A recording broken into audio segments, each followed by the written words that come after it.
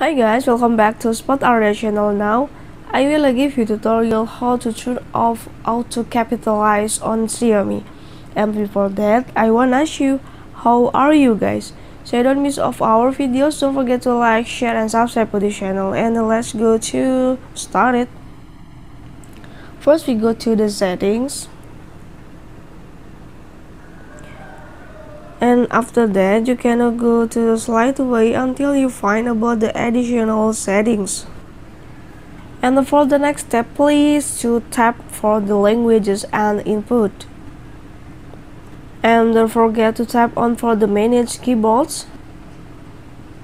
And tap on the Gboard.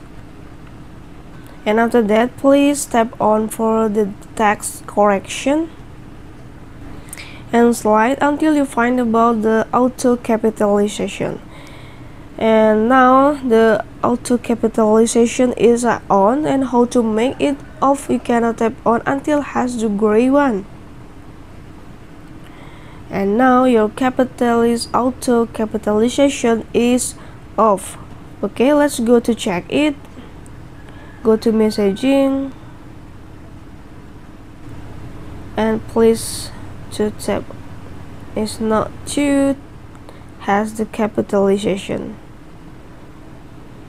And the auto capitalize is off for your Xiaomi it's very simple way to do it.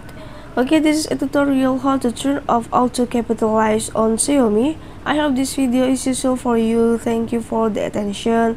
Have a nice day. Bye